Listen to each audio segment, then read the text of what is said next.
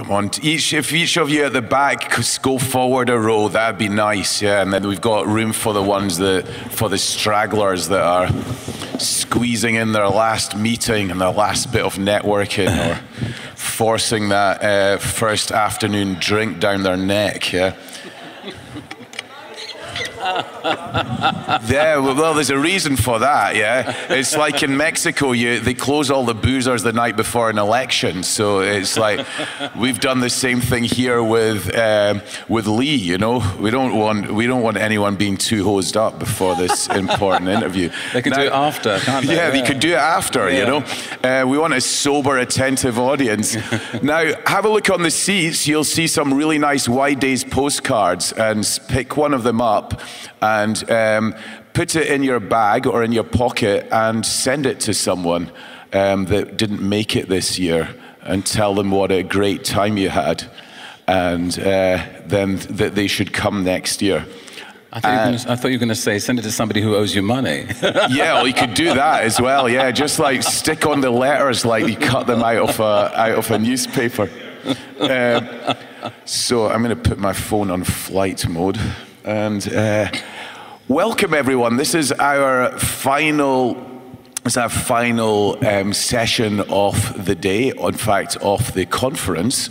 And one of the things about working 16 hour days for about three weeks and uh, losing, almost losing your voice is that the, the payback is that you get to invite someone that you've always wanted to meet and who's um, had a massive influence on you musically um, to your own event. And I have this privilege today with Leee, um, who doesn't realize that he was um, a figure of fascination for my friend Mark and I when we were kids, not only because of his music, but also seeing him on Doctor Who. Um, the fact that he had an extra E in his name made him even more exotic. And um, I don't think I've ever done a DJ set, regardless of what type of music I'm playing, without putting on just an illusion, um, even if it's more of a kind of um, guitar based set, it always has to be in there. So it was great when my friend Archie said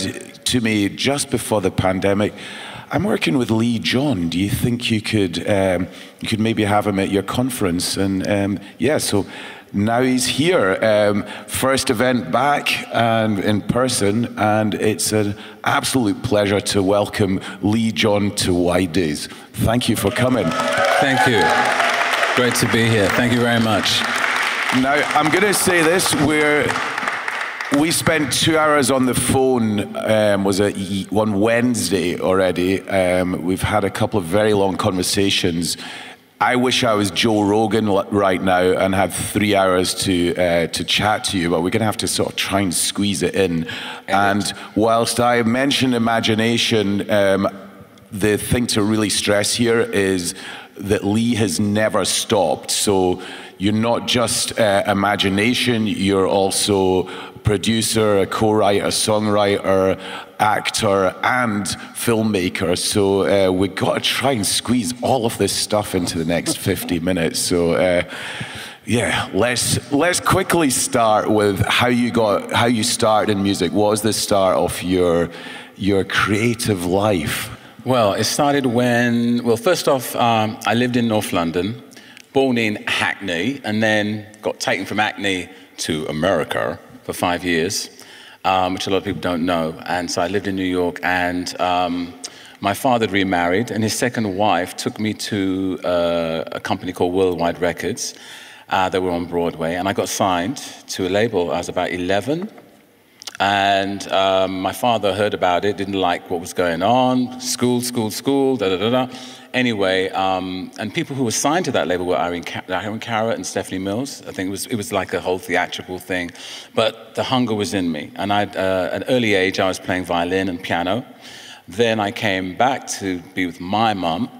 And while in school at Highbury Grove, uh, I became part of a duo called Russ and Lee. Um, and we went everywhere. We went, you know, we were like the, Jackson 2 everywhere, all over the bloody place. And, but it was great because we wanted to um, sing, perform, and I was, at that time I was writing. I was writing from a very early age. So I remember we went to Eddy Grant Studios in Osbaldeston Road in Stamford Hill at the time because uh, we knew him. He, there was a magazine called Black Music, and he was asking all artists and stuff like that to come down, and you know, we went. And uh, he gave me encouraging words, and my sister actually knew him as well. So he gave us encouraging words, and we and he was very actually influential with me much later as well. Just before Imagination started, I was performing at the Q Club, and he came to see me and was he remember this kid you know it was like this. But i was that kind of um, person. I was everywhere. I was you know in the club scenes. I was also um, singing with different bands. And anyway we got ross and lee we went to emi records and we were in the reception area and we saw a guy and we said ah he looks like a manager you know and he said yes i am. Um, i'm working with uh, the David Bowie Spiders from Mars, because David Bowie had just split up from his group, and they said, well, we're going to take on the Spiders of Mars, because we don't know what's going to happen with David Bowie. And that was the truth. And so he took the Spiders of Mars and they put all this money in Spiders of Mars, which obviously we know what happened. and he said, well, we're looking for some other um, groups and stuff like that. So um, right there in front of everybody in EMI, we auditioned, we sang, and we, we were made up our own songs and stuff.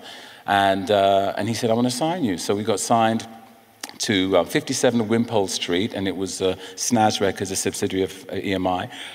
For the first song, we did uh, one of our songs, we wrote One Life to Live, and the A side is called Get Up, Part One, Part Two, written by Dennis Bond, who became a children's writer for TV. And um, it, I think the only hit or any chart it went in was probably in Finsbury Park. And, um, but it was a great experience because we had Gonzalez. You remember Gonzalez? Haven't stopped dancing yet. They were the backing group. Um, the bass player, I remember, was Phil Shan, Chen, who played with uh, Rod Stewart subsequently. Del Newman was the producer. He'd done Diana Ross, he'd done Paul McCartney. We had Thunder Thighs with the background vocalist. Thunder Thighs sang on Lou Reed's, Lou Reed's Walk on the Wild Side, had just done it and came onto our, our record. This all happened, and I was still in school. so this was. What was it like going to school? You're working with all these. did, did people were you kind of seen as a as the sort of star kid, or did you just go into school regularly and then just not talk about it too much? Star baby. At school, I was a star. you know, we were silly. We had our snakeskin shoes, our velvet jackets. We went down to King's Road. Vivienne Westwood had sex. That was the name of her shop. And we bought our velvet jackets and our cowboy things. And, you know, it was really happening. It was thriving. And on a Saturday, I was working at Toppers in Carnaby Street. Um, and, you know, but it was fun. You know, everything was analog in those days. So, you know, I then, um, nothing happened with that. So I moved on. My sister was part of a, dram- a dramatic uh, theatrical group called the Hugh Norris Players. So I became part of that. Um, and she was gave, giving me my pocket money at the time, so I had to join it. So, um, you know. And anyway, there was a band. We were doing a musical, and uh, there was a band playing in one of the shows we were doing, and they took me on and said, "Look, we'd love you to sing with us," called the Sun Valley Serenaders. And every Sunday or Friday, we'd play at the Queen's Hotel in Peckham. And I'd uh, rush up and, and, and, you know, from, from Finsbury Park all the way to there. Then we finally had a residency at the George Canning pub in Brixton. So I would be doing that. And then all of a sudden, someone heard about me and I ended up doing sessions. And I was still in my teens. Um, and I ended up doing some stuff for Elvis Costello's F-Beat Records. I ended up um, doing some stuff for, oh my goodness. I auditioned actually for Sweet Sensation after Marcel King left, and I got the job, but I didn't want to do it. So I was doing that, I was a singing waiter. Um, did you not do bingo halls as well? I did. With the Sun Valley Serenaders, we did pubs, the best audiences were the bingo halls. So way before Imagination, I was playing to 2,000 people, you know, in between all the 77, 66, 22, but I was learning my trade. I was learning how to be a performer. Eventually, um, there was a guy called Silver Wayne who had a um, uh, agency and you, at that time, you went to the back of Melody Maker or New Musical Express or the stage, you know, to auditions. And I was one of those avid people on a Friday looking, seeing, you know. Um, and I found an, uh, this agency was looking for backing singers for American groups. And at that time, I looked much younger, so I used to pretend, you know, pretend I'm older. You know, at that time, we all, we all do that. And I ended up working as a um, backing singer for groups like Chairman of the Board, the Delfonics, um, the Velvelettes, of all people. And I would be the, the backing singer for all these groups that were coming in from the States. And so we did all these shows all over on all the bases. Um, and I was still yet 20 yet. I haven't, I haven't Did you did you get your A levels then, or your O levels? I had got the, uh, O levels that, that time in between that. But remember, it was a different age, you know. Um, my sister encouraged me to make sure that I had a job at the same time because after nothing happened with the, um, the record, with Get Up, she said, don't be disappointed, but you need to make sure that you have an education, that you can, you know, and you've got some skills, use your skills. So I ended up working uh, as a tax inspector, training. No way, as a tax inspector. Yeah, in Red Lion Street and um, near Holborn. I was doing that. I still did my Saturday job at Toppers, and I was gigging at nights. And then after the gigs, I'd go partying. So did you ever like investigate anyone? no, I was doing all this, the boring work, all the assessments and all that kind of rubbish. But the money was great, you know. It was, it was a time of London waiting when you get all this money was coming in. so I, I joined at the right time. Excellent. Um, so when did imagination come together? Oh, gosh. Um, well, it came through, and one person I have to thank, by that time, I was the kid that was going to all the different record companies. I had done loads of demos and things like that. And I ended up doing a session for Trevor Horn, who at that point, if you know who Trevor Horn is, he worked with Van Geels of Hollywood, Grace Jones. Um, at that time, his girlfriend was Tina Charles from I Love to Love, you know, that singer. But they were going out. And um, I ended up writing with him. And he and myself wrote a track called Got to Be Good. And it was this huge, big production, huge. And then he went off to do Buggles, and I was just left with the tracks, you know, and he became successful, you know, straight away. So I was just left here, oh, wow. And then I went to um, Red Bus Records um, and met Morgan Khan, who was, uh, had the Street Sounds label much later on, and he was the A&R. He was crazy, he was wild. And uh, he was playing me all these different songs and stuff like that and saying, if you're going to sign to my label, I want this kind of sound. And I hadn't played him the Got to Be Good track yet. But then I said, okay, I'm going to come back and give you a track I think you may like. Played it to him, he loved it. And then they basically said, we want the masters. At that time, I was signed to another management company, Greycount. I'm surprised I can remember all this. Um, and um, so deals had to be done and contracts changed. And in the meantime, the master came and it was sent to America. They wanted to actually get the Earth Wind and Fire horns put on the, the record and maybe some American musicians playing, and they lost the master. How did it get lost? That's so bizarre. So I was cut in half. I thought, I don't trust this company. I thought that's the end of my career. Um, because you know we'd built up so much for, for this. And then in the end, um, they tried to appease me by saying, "Look, you know, we've got other writers and producers. We'd love you to write with them and stuff. We like because they'd heard a lot of the songs I was doing. I was writing a lot. I was doing a lot of that. So um, at that point, I thought I was the, the true professional. You know, like you want me to write with somebody? Okay, who is this? You've lost my tape. You know, I, I don't believe you're a good company. Da da da. And uh, anyway, this guy came over and he was like, really, you know, if you like the song, if you like this track, you know, um, write something for it. If you, you know, if you feel whatever. And it was Tony Swain who became my producer. So I took it home, put it in my cassette machine. Any of you who know what a cassette machine is? And uh, and my my mother had a, a, a, a actually a, ra- uh, a cassette radio and what I was doing was I was overdubbing my voice on hers and on my cassette and just experimenting. And I sat down on the kitchen table, and I always say it in all my shows, and it's very true. I sat there and I wrote all the lyrics, all the melody, all the harmonies for Body Talk. And then um, Ashley, my bass player at the time, was working in different bands with me. He was also working with me with the American bands. So we had been writing and doing a few things together. So I'd drag him if I was doing something here and there. So I phoned up Morgan and says, book the studio. I've got an idea. And he said, okay, great. Went in and Tony was sitting there and I just controlled the whole session, as I do. And um, what you hear was one take of body talk. and we just added the background vocals. And uh, we felt that the bass should be heavier because what was happening on the streets at that time, especially with the DJ culture. And uh, I think from, I recorded it in the ending of 1980. So the launch was, I think, for the DJs about January, February, and it was white labels. So everybody thought, who is this group? Where's it come from? America. They all thought this was from America. And it went smooth sailing until finally they flipped it and told everybody it was imagination. But that came through, the name came through Steve Walsh, who was a DJ. He was working with us, and John Lennon was number one at the time. So we kind of wanted a bit of that sort of thing going on. And um, 44 weeks in the chart.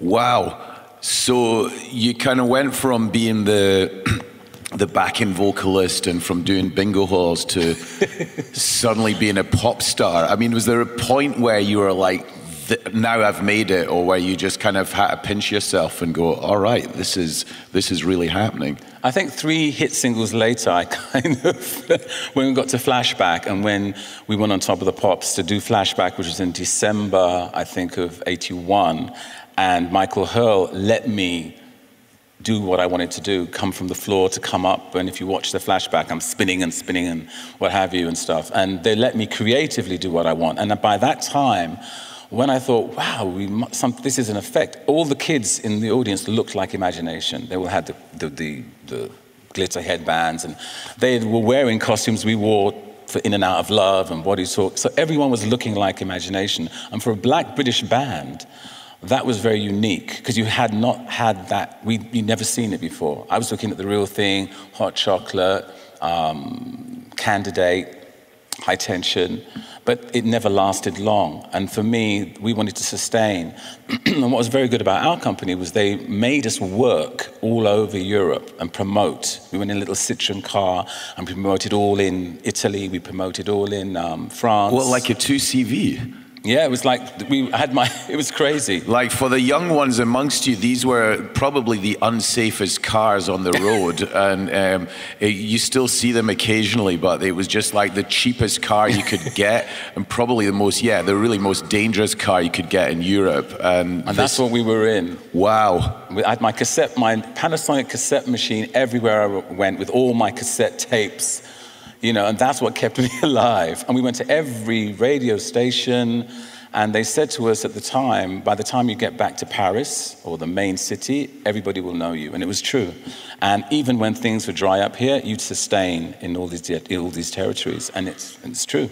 I was just at the Olympia last week in Paris, sold out show. So, you know, 40 years later, I mean, it's, it's really interesting because one of the things that, you know, in the course of my research, which I, um, and presumably uh, didn't do this in a 2CV, but maybe in a Dacia or something, or a Lada, but you, you seem to have played everywhere. And I mean, I think that it's, I once had dinner with the Scorpions um, in a, you know, rather interesting sort of uh, se sequence of events. And, you know, the only artists that I've known that seem to have played in so many places is them. And, you know, mentioning Leee John and the Scorpions in the same breath is might seem a bit odd, but we can come back to the, it not being that odd in a little bit. But the, the interesting um, thing with this is that, I mean, you did six weeks in the Soviet Union, oh. um, which also the Scorpions uh, played there. Yeah, there's a conspiracy that they were also, it was all part of a CIA plot. Yeah. Uh-huh. We had was, an that, exchange. was that with you? or No, we did an exchange with the Bolshoi Ballet. Right. The Bolshoi came over here and we went over there. Wow, so Bolshoi Ballet exchange with, with you as yes. Or as Imagination? As Imagination. Imagination featuring Leee John. We went there and we played all these huge arenas um, we were in Moscow. We were in St. Petersburg. It was, what was it called before that? It was um, Leningrad. Leningrad, that's right, yeah. And uh, it was an experience. It was before Perestroika, so you could imagine. It was, uh, the conditions were, you know, I saw poverty in a level, I mean, they lie, whatever they say, but there were some wonderful things, like we went to the Pushkin Museum and there was art that they all confiscated from all around the world during the war, from the Germans and stuff, all there but they didn't, you know, it's only, and then in 1990 something or 2000, I think, sorry, they all said, oh, we've now discovered Rembrandt's and all this kind of, but it was all in there. So it was a great experience, and we have traveled I mean, South America, and I'm still traveling, but I think that's opened me up to so many different cultures and um, people, individuals, and, you know, and creatively it's, it's given me the chance to work with different people in these different territories. Well, that's what I was going to ask you. I mean, in terms of the the effect on your creativity and your collaborations and your music, I mean, to what extent do those, as those travels and meeting those people, influenced your music? Oh, strongly. I mean, I've, I've got a track with um, George Vercillo in South America. I've got a, uh, a track out now with Plastic Bertrand. You hear him with the, uh, you know, he's very, well, very well known. Um, I've done many, many collaborations, uh, even in America with Arthur Baker, Peter, uh, Peter um, I says Peter Baker. And uh, um, it's, it's along, along with all of that, it, a lot of this actually you probably hear and see in October because we've got a 17 album box set coming out. 17 albums? Yeah. Why, that's almost as much as the fall. Well, you know, I've got, I did a jazz album as well, remember, which was very, very popular everywhere else except here. And it was a CD DVD done in Rochefort in, in France. And so that's going to be part of the whole collection, as well as unreleased stuff, album tracks, uh, the original versions of songs and loads of 12-inch um, records and stuff like that. Um, this, this, this idea of the, these collaborations, because you did the, the song, the co-writing panel earlier on, and I mean, you've, you've even jammed with David Coverdale. So, um, Leee John, David Coverdale's from Whitesnake. Maybe you can sing a blast off Here I Go Again. Yeah? yeah. And I think that, you know, who's been the sort of most uh, unusual or where you'd, or for the audience, you know, someone the least expected that you've, you've Joe done Cocker? something? Joe Cocker. Yeah, okay. we were in Germany and we were jamming till, and he, he, we were jamming till the early hours, and we left him downstairs. And when we came downstairs to do the TV, because we were all doing a TV, he was still there. you know, he was he was knocking it back. But we had a great time. Jennifer Warnes was with us with Joe Cocker. Um, oh God, there's been loads of people that. Um, you know, bringing it up to date with my work with the Gorillaz. Um, and uh, there's definitely a lot of collaborations I've done. I've, I've with Dennis Bovell, we did Police and Thieves, you know, which was my first number one in the reggae chart, which was great. So I've done a lot of diverse things. I've recently done something with um, one of the violin players from Bond. We've done a version of uh, Rimsky-Korsakov's Scheherazade, and I've created a new, brand new song out of that. Um, I have a, a, couple songs with um, William Orbit, uh, which I hope will be on his album if, he, if we can find him. But uh, so I've done a lot of diverse things from dance music to hip hop to R&B to drum and bass. Worked with uh, DJ Fantasy. Had, it seems every year I work with a DJ of some sort. They always want to do something. You know, I had a garage hit with Mind, Body, and Soul. Uh, the Mighty Power of Love was a huge American house track, which became a classic. Um, I mean, this the house element of it really interests me because I, I, checked out quite a lot of the house stuff you'd done in the, the 90s, and I was like, this is really good. and um, it's you know it was a it was a layer to your your musical past that I hadn't really been aware of. I mean, were you when you were touring and when you were playing in the 80s and 90s, did you did you spend a lot of time in these kind of house clubs and in that oh, whole yeah. sort of scene? Yeah. Yeah, I mean, we played Paradise Garage in the mid 80s, and it started with um, Larry Levan, who mixed uh, Changes. He did that, and it was like a. Um, 45 minute version, he had reel to reels and he was doing it. And that influenced to do the night dubbing album. The night dubbing album we did was a dub album, which was one of the first albums by a black British group of dubs of all their hits. The only person who done it, I think, was um, Image, uh, not, not um, they, don't, don't You Love Me Baby, um, Human League. And I think the Thompson twins had done something, but we had done that. And, uh, you know, it's, it's very hard to find that, the night dubbing album. And that was, that, when you went to Paradise Garage in America at that time, it was like crazy, and the music was just really pumping. So it gave us the flavor, and our track "Burning Up," of course, became a classic. It was top 10 R&B, um, coupled with "So Good So Right." Um, in actual fact, our very first album, every single track by one was a single and a hit.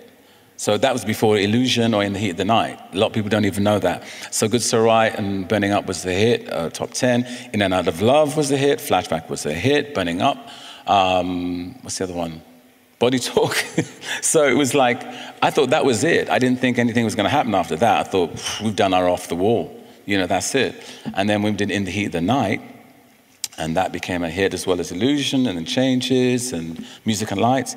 Um, it just, it was mammoth. So we were album selling. Um, and obviously, visually, we took it to another level all the way because it was part of the new wave punk, um, Brit funk soul scene that was happening. Everybody dressed differently because people say, "Oh, your outfits." It was what was happening in the clubs. We just took it to another level. And remember, outside of London was not seeing what we were doing there. And I was just part of this posse, and we just exaggerated what we did in the clubs and took it to the next level. And the world hadn't seen that. And that was black and British, and it belonged to us. And uh, so everyone else understood it. It was just that to everybody else, oh my God, they're so outrageous. Wow, you know, hey. And then they, they started copying it to the points of Vivienne Westwood, Katharine Hamnett. They started copying what we were doing and making it more amenable for everybody else. But we didn't get the credit for it, I'll tell you that.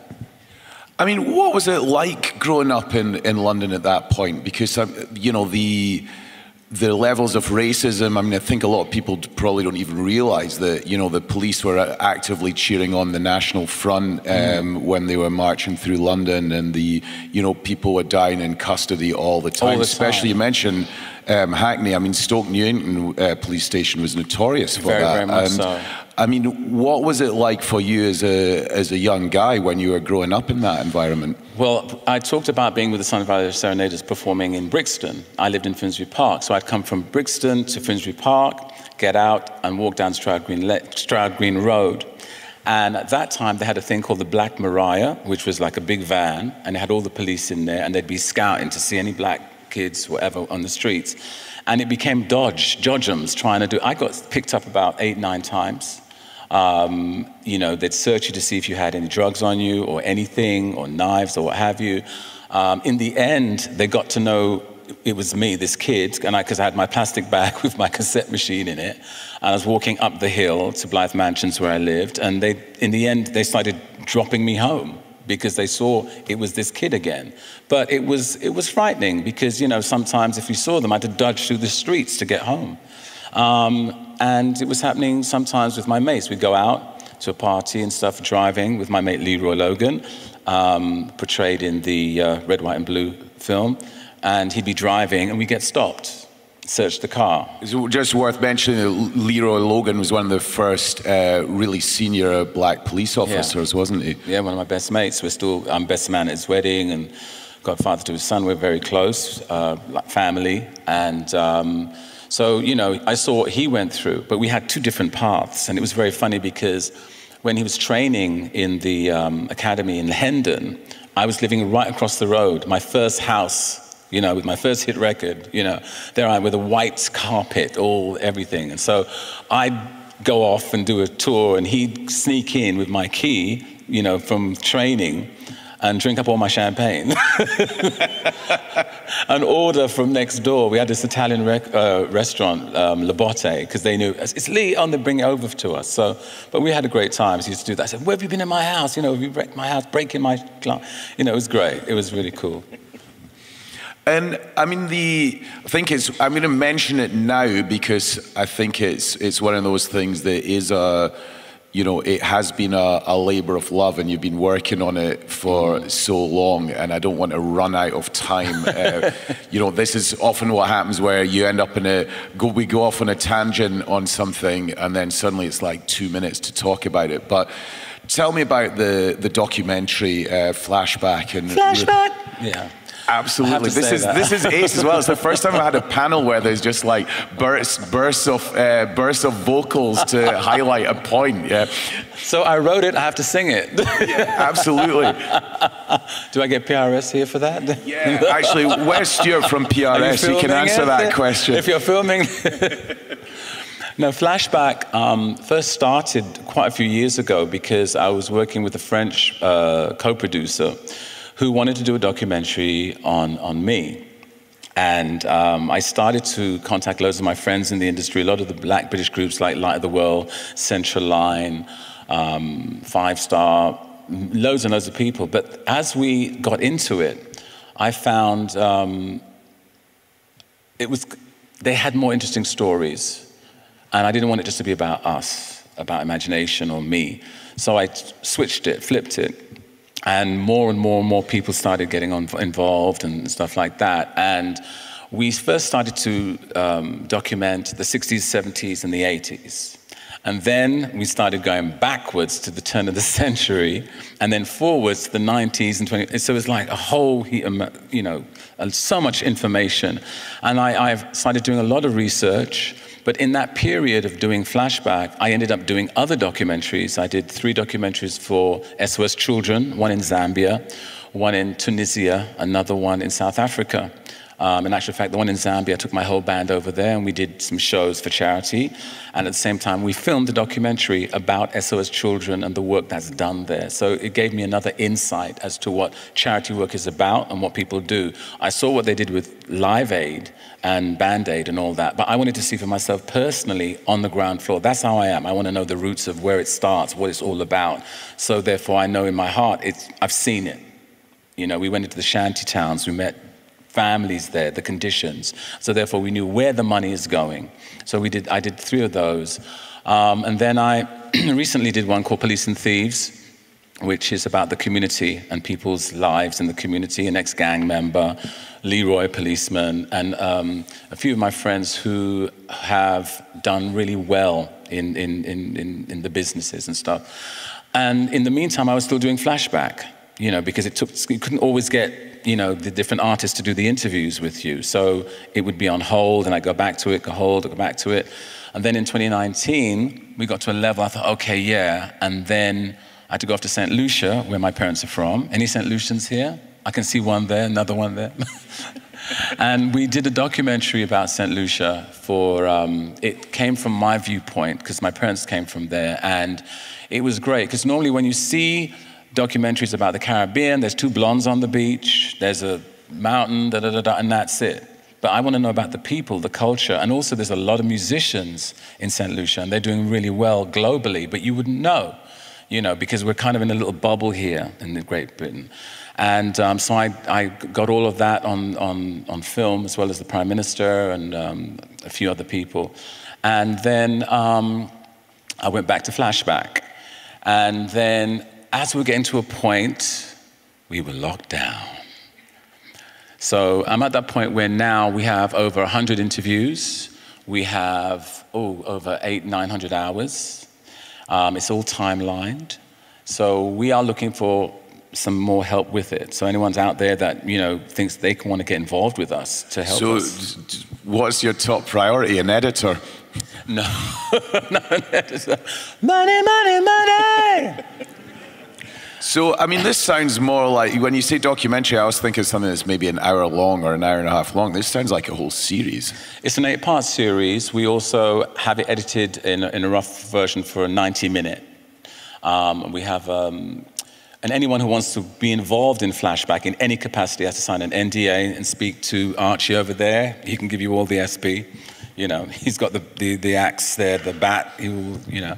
But um, it's been a lifelong journey doing this because what it was, it wasn't just about imagination. I found that there were so many people going back to the 60s, like an Eddy Grant, who I interviewed, like people like Clem Curtis, you know. Um, when I was 10 years old, I, I, I, won a competition singing, Baby, now that I found you, I can. And that was one of my favorite songs, and I'm interviewing him. How was the record industry for a black musician in 1968? So this is what I wanted to get and find out, you know, because that song and Build Me Up Buttercup have been in so many different films. So there's so many interesting stories that you don't get or get to see or get to understand. And also, it was a, he was in a multiracial band, like Eddy Grant was. So that was a very interesting you know, topic. And then we go on to groups like Osibisa and the whole ska period and Rocksteady. And, you know, you come into the period in the 70s with, with when I was a kid, we were going to all these clubs and the club scene. Um, there's a club called Crackers we all went to. Then you have all the, the, the, the, the, um, the, the sound systems of, of that time, you know, Count Suckle, and I knew loads of these people. So it was something that I wanted to document. And it takes you how a lot of the funk groups began. So I was part of that journey. So I got it from directly from them, up until the point of Soul II Soul. I knew Jazzie's family from because I lived in Finsbury Park for years. So it was very easy on that extent. I found when it came to some of the later artists, you know, the whole industry had changed and the ideals. Um, some of them were very false how they, they, they, they signed a lot of the groups, the boy bands and girl bands and stuff. They were put together. So it wasn't the same organicness that we, we came from, where we wanted to go out there and perform as live musicians, which is one of the main things, going out there performing live. That's all I knew, performing live. And things changed drastically due to technology, due to how the industry became. Um, and so the stories I got from mid 90s onwards were very different. Um, but then some things have regressed in a sense with, when it comes to British black music. Um, so we're still, there's still bits that I'm, I've got a few interviews I still need to do to tidy it all up and stuff. But I've got some amazing footage, and I also own um, a piece of footage which is called, it was This Is My Song, which was a, a song I did, I produced, wrote. It was a period of Band Aid, which we did for sickle cell anemia. And uh, art, it was about artists against apartheid as well. And we have so many artists on this, you know, from Paul Weller to God knows. There's just so many people on. It was in um, Trevor Horn's studio in Ladbroke Grove, and we're all dancing in the street, and it's like a real celebration of all of us. And so that's going to be in the film because a lot of people haven't seen it since. Uh, but it was very big, ironically, in South Africa. So, because um, I, I, was very close with the Mandelas, um, um, especially um, Zinzi, and she was involved with Operation Hunger. And when I first went to South Africa, I became uh, a patron for, South, for, Operation Hunger. So she was really into the, the, video and what it stood for and would keep me up to date with what was happening, especially in that period of apartheid. So I've had a lot of diverse situations. But one thing that's been very constant is the DJ culture. I'm always been hooked up with all the DJs. They, you know, they were playing me different mixes. Even last week, someone's done a mix of Flashback. You've got um, Dimitri from Paris. Um, you know, David Morales is a very good friend because the first hit he had was Instinctual, which was number one for us in 1988, and that's what put him on the map. So I've had a lot of that. Do you DJ yourself? I have, yeah, I have. I have, when asked. oh, if I'd known, we'd have asked you. Uh, but I do have a Mexican DJ here, so Elias uh, is going to be DJing later on. So, oh, um, okay. yes. Do you DJ know our music? Do you know his music? Okay, okay. Uh, the, um, the We'll get you back. Uh, we had Rhoda Dakar as our uh, main interviewee a few years ago, and she DJed after. She's a really good DJ. Really? Okay. Yeah. Okay. Um, I used to do, you remember, I came from the period where you had the 45s, and then yeah. you had to put the next 45 on quickly. yes, that, that's fine. We can sort out and some the cassette machine. Yeah. Remember that one? I've still, yeah. I've got two cassette machines in the house, so you could actually do a set with yeah, two cassettes. You put the headphones in, and you've got the cassette going in time. Um, going just back to the film, I mean, how much money do you think this is is going to take to actually get the project completed? Um, one of the main factors is clearances. You know, um, we own all the talking heads. Um, but I think where it, it sounds a big figure, but it's not. It's nearly close to a million. Um, because that's basically, we feel with all the clearances, that means the music, that means the publishing, all that kind of stuff. We've spoken to many companies who will help us in that level, but we feel we'd like to get other people involved with us to take this journey to a higher level. But we're not looking just for the UK, we're looking internationally because this is an international project. Um, we have had a lot of interest from abroad, definitely. They're very keen on it. They want to have it more completed um, because I think this is going to stick into. I mean, Flashback for me is not just about the film, it's we've got an app. So you can actually learn about it as an educational uh, you can put it into the schools so people can learn about British black music. You know, it doesn't mean they're just black. I mean, we've got people like um, up here. We've got um, Hamish Stewart from the Average White Band. I managed to get an interview with him, you know, and his contribution, you know. And it's not just about musicians in London. We've got the whole Bristol's crew, um, uh, Massive Attack. Um, and, and all the Birmingham bunch from Beverley to Jaki Graham to UB40 to Pass the Dutchie on the left hand side, musical youth. I have to sing the song to remember who it was. And, um, you know, but it's great. It's just a world of, of, of excitement and energy and color and, um, and music makes you feel good. So this, all of this music has influenced the world. Lovers Rock, for example, Janet Kay and Carroll Thompson are huge in Japan with Lovers Rock. And, um, you know, I've had more of an international career than I've had here. And that's kept me very stable and very balanced, but also I've watched who has come out of the UK and done very well. With all these things going on, I mean, how do you maintain a focus? I mean, how do you get stuff? I mean, obviously, this the the documentary is what you've been working on that since 2009. So I guess that's not quite uh, quite achieved that maximum focus. But with everything else, the, you know, I mean, you're obviously releasing loads. You're you're doing so many different things. Those things are being completed or have been completed completed a bit faster. How do you do it? I mean, do you have a kind of approach to your work where you're you're very much like get up in the morning, have a swim, do your qigong, um, and then then you're straight into it and you're done by 6 p.m. Or yeah, you... that's exactly it. That's what, exactly what I did. Especially in the lockdown, I had a very strong regime, and I've always had that. You know, I think it's discipline from my mom, my sister in particular as well, to have a discipline. So I can still enjoy myself, have a good time, but make sure you get the rest but then I'm enjoying what I'm doing. If I didn't, I wouldn't do it. Um, and I always say, if I can go through the door, maybe I can get other people through as well, because that's the joy of seeing other people come through. Um, and I watch and observe. Um, people that I've worked with that I've helped come through. You know, at the time, Total Contrast, for example, Delroy, he could have been in Imagination, Delroy Murray from Total Contrast. Um, but then I gave them their first studio break because I knew him, and then they got the deal through me pushing and them getting through. And did, they did amazing in America. So, you know, I've, I, I like that um, being visual, being artistic, and, you know, in every sense, whether it be fashion, whether it be music, you know, I like all the different outlets. I think sometimes over here in GB, they want to compress you. Never be compressed reach for your dreams, go what you want to go for. You can do it, you know, if you can find a way. And always believe in yourself, and then others will believe in you. And I think it's so important that we encourage each other individually, collectively. And sometimes you don't get that support. So sometimes, you know, especially during the lockdown, I was doing some Zooms where I was speaking to different artists and just giving them ideas as to how they can do it. It's not going to be perfect. And the thing is, it wasn't just about being a star. It was about being an artist because I had my star bit when I was 15, you know, my snakeskin shoes at school, you know. That was my star bit. I thought, oh, you know, we're going to be a hit. Oh, yeah, with the Jackson too, you know, fantastic. That was great. But then I wanted to learn more about what your craft is all about in the acting, in the writing, um, in the studio. You know, in my first, one of the first live gigs I did, um, the musical director said, Right, before you come up on this stage, you're going in front of that mixing desk and you are going to mix our sound. And I was like, Oh my God. He says, There's no way you're going to sing until you mix that sound. So that's how I learned to, to mix. I know all, I can do all of that.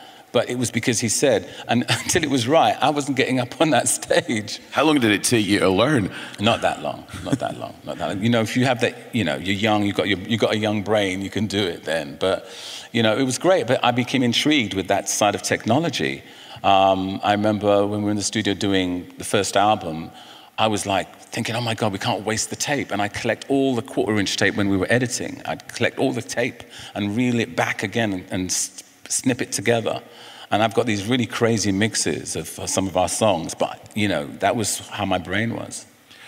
I'm just looking at the time. Has anyone got? I'm kind of also conscious of the fact that very often with these things, I run out of time and then no one can ask a question. So, is we got a, have we got a radio mic somewhere just in case? Has anyone got a question just now?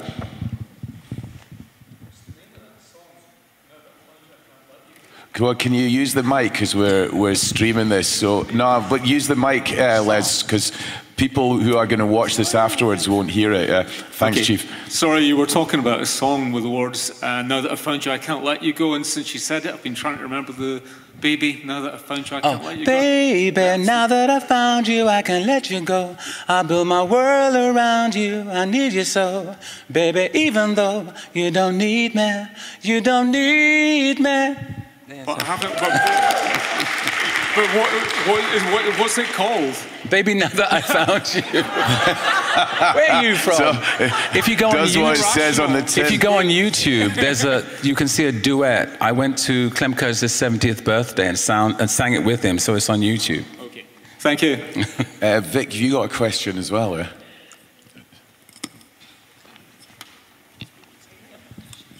I've got a three part question for you. Um, firstly, what do you think of the state of British black music today?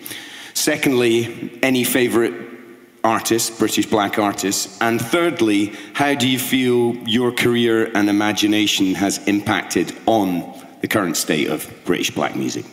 Very good questions. Wow. Uh, the first one was. Yeah, I can't remember either.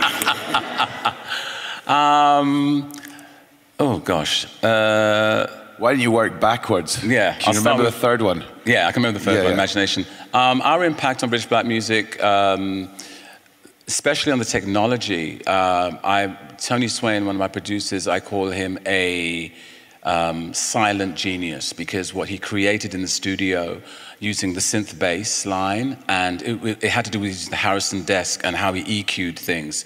And we did a, a Q&A together, and it was quite interesting. Um, I had a lot of freedom in the studio, a lot of freedom writing. So what you hear, I was not conditioned. I wasn't a puppet. Puppet, you know, me be a puppet. There's no way. So it was a situation where um, we. I knew from an early age you need to have a sound. Motown had a, had a sound, you know, and I loved that sound. And I felt that we needed to have a sound, or I needed to have a sound to be successful. And um, we understood each other. So when I was writing a lot of the lyrics with Steve, or if I was writing some things with Ashley, we knew we had to. I may sing it really gospelly when we when we write it, and then I had to thin it down. I had to kind of take some of the frills off of it just to make it right. You know, it's less is more. Um, as far as British artists, there's so many black British artists who I think have done really well. Nowadays, of course, you've got the Emeli Sandés. Um, um, oh my goodness, there, there's, um, what's his name again? I've interviewed him. Oh, what's the producer we were talking about earlier? Oh, who's very, very good. Um, oh my God, my brain. My, the gray cells are spinning around here. Um, but there's so many people who've contributed, like Mica Paris and Beverley Knight, who I know, I know them really well. Um, I think there's a lot of people who've contributed who've not been given that, you know. I mean, when you think of Errol Brown and Hot Chocolate, how many hit records they had, and how, you know, oh, you know, I believe in miracles and you sexy thing, and, you know, but it's, it's like it's nothing. And it's contributed. And you know what? Black British music has given, has brought into this country so much money. I mean, I get played every single day in France and all the French territories. And that money goes into the government over here. But they don't mention, I not mean me, but everyone. It's, a, it's an important factor that British black music has really helped the industry here. And, you know, and it's, it's, not, it's not spoken about. I was going to ask you about this actually, because I know, appreciate your parents didn't come over on the actual Windrush ship, but Mm. it was that, you know, that generation, that era. And it struck me that the British music industry did absolutely nothing to support um, all these people that had been living here pretty much their whole lives and were being deported to Jamaica, having worked here legally for their entire lives. Um, and then, you know, with um, as soon as something happens in the States, everyone's kind of going, all right, you know, we'd better be seen to be doing something. I mean, albeit nobly, I'm sure, with reasonable intentions. But I mean, when you saw what was going on with, uh, with Windrush, I mean, how did you feel about that? And you know the fact that the British music industry that had benefited so much as well from the contribution of I am black artists. It's been a very hard journey because the situation is I say it all the time. I will go I'll leave like I did last week. I left this country, I get the red carpet. I come back, I get the doormat. So it's been something that we all know within the community that it's been existing for a long time. This is not a revelation. This is what's been happening. So it was great that we can try and be part of the change. And I think it's to let people know we need to change things. So the next generation coming up, because we are a multicultural society, we're a rainbow tribe living together now because, you know, you speak with an accent, so do I. You know what I'm saying? And it's a situation. You go down to London and you're different. Do you know what I'm saying? And we come up here, we're different. So that's how life is. We're a rainbow tribe of different colors and different creeds. So the situation is, but we're all contributing. And that's the situation is, I think, I'm sounding Scottish then, didn't I? Contributing. Yeah, it's good.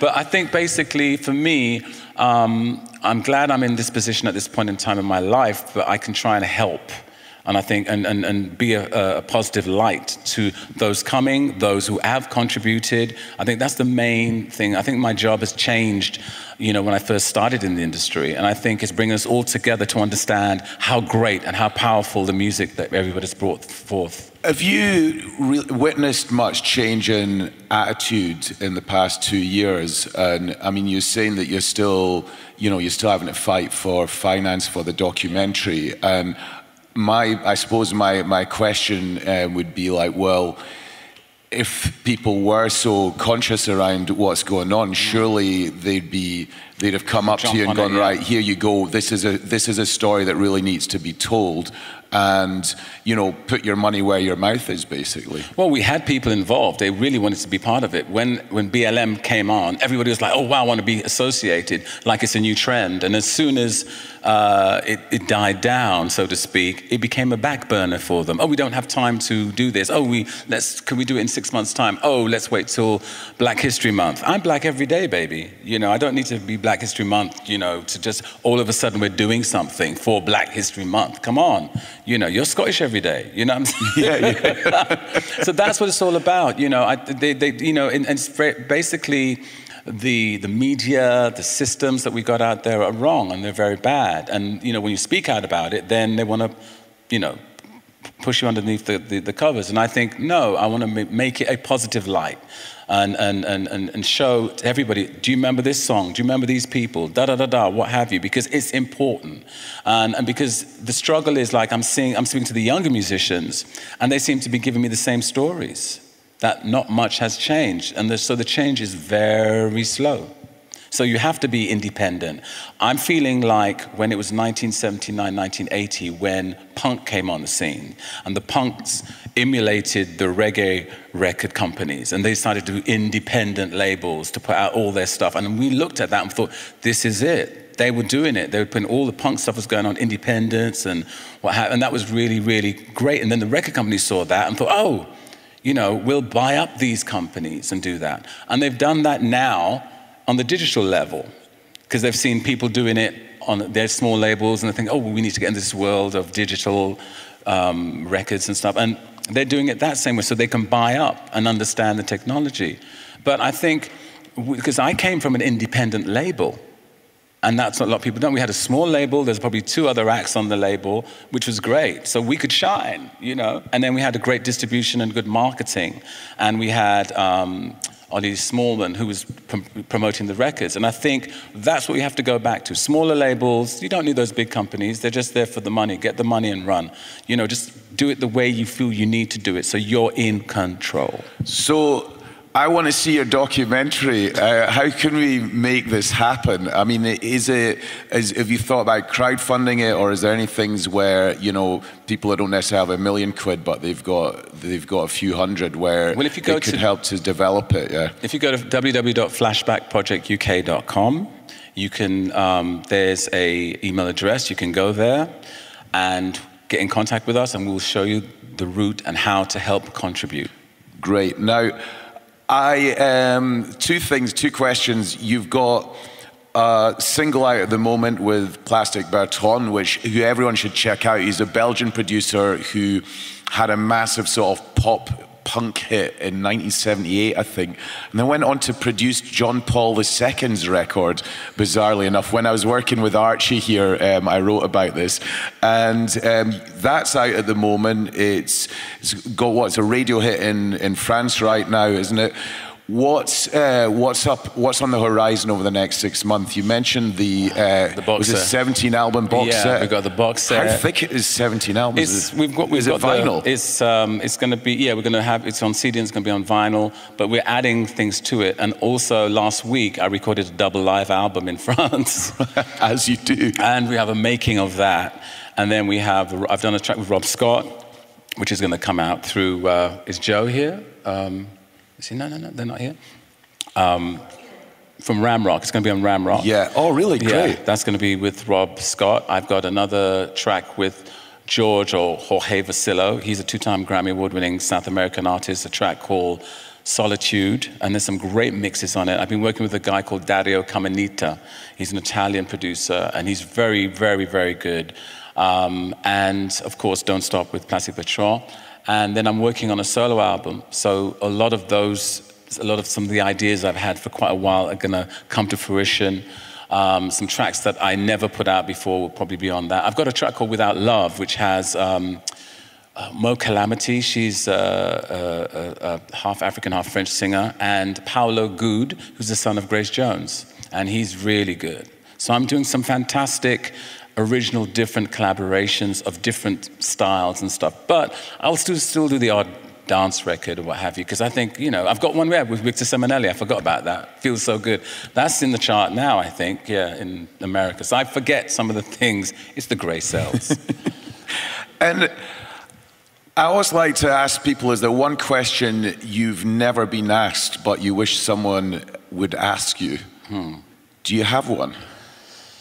That you, you, did think about that, and I thought, oh my goodness, um, it's a hard one. It's a really hard one. I, you, how I look at life is very different. So when I'm doing interviews with different people, I try and I don't want to repeat the same things all the time. So I try and be a little bit different each time, and try and give the audience or the listener something interesting for them to listen to. They may have heard me 3,000 times, but I want to be able to communicate something different. Um, you know, besides people asking me how many E's you have in your name or why do you have many, you know, and stuff like that, I say it's extra exciting and erotic, depending on the day. so, you know, or energy, you know. But um, I just think that um, let every moment count as much as you can, especially in these times. It's a very difficult period, but you got to wake up and see the sun. Even if it's raining, you got to see the sun. And I think that, you know, our mission now is to encourage each other and really be a major force in what we are all doing here. It's very, very important. And uh, you know, I, I'm when I get, I know it's hard, but I'm hearing a lot of the, you know, the mental stress, a lot of that affecting people, and I think sometimes the media pushes it too much, and sometimes it can make you feel you're having these things as well as people do, feeling that. But we need to encourage. You know, we should be showing more positive things out there. Well, I don't turn on the news now because every time I turn on, it's like, oh my God, oh my God, oh my God, you know. So we need more music in our lives, you know. Or if someone says more music and lights, that's what we need. What an excellent, what an excellent note to end it on, quite literally. Uh, Leee John, thanks very much. Thank you.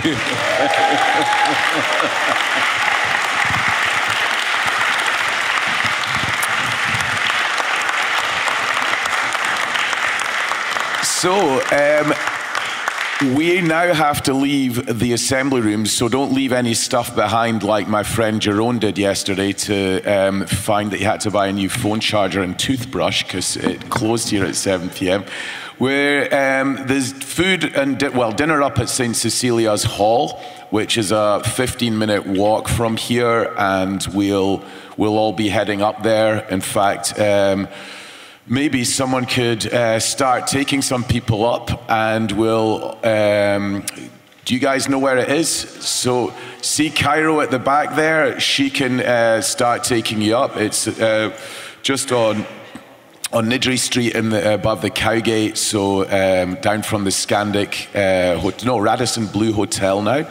Uh, so it's dinner there, and then we're heading up to the Liquid Room for tonight's showcases. The first four acts are on there. Please come to the showcases because this is. Um, this is, these are the artists that have been um, taking part in our talent development program. And after the Liquid Room, we're heading down to the caves. So uh, for the last three acts, everyone who's got a wristband, you could just jump the queue and walk straight in. So um, yeah, see St. Cecilia's Hall, which also houses a musical instrument museum and the largest collection of harpsichords in the world.